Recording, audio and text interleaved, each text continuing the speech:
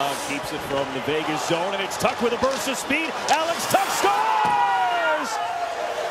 Alex Tuch came flying right through the middle of the ice and gives Vegas a 2 0 lead. And it's another play in the neutral zone. Watch how Tuch generates speed. A nice little drop pass from Chandler Stephenson.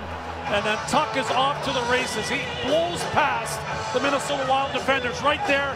And what a finish on the goal. Great set of hands for the big man. Love the touch pass by Chandler Stephenson right there to Tuch. That allows him to get in in full flight. He goes from backhand to forehand and just puts it by Cam Talbot. It's not even a fair fight when this guy's skating like this skate. He's a huge human being, almost six foot four, 220 pounds. It can absolutely fly.